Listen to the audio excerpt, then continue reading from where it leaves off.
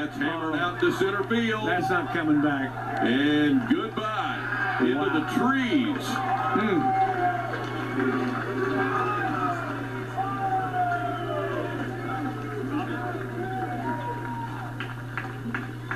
Second home run of the day for Nolan Schubart.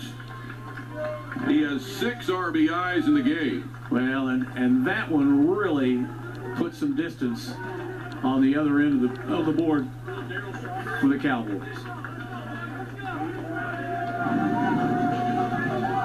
It's a seven run inning for Oklahoma State.